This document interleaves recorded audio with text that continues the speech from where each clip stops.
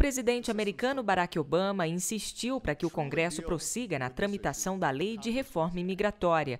Ontem à tarde, o projeto de quase 900 páginas deu seu primeiro passo em direção à aprovação, quando a maioria dos legisladores, 82 contra 15, votou a favor do início das discussões sobre a lei. Em uma coletiva na Casa Branca, Obama disse que o sistema está quebrado e que o Congresso precisa agir e que a hora é esta.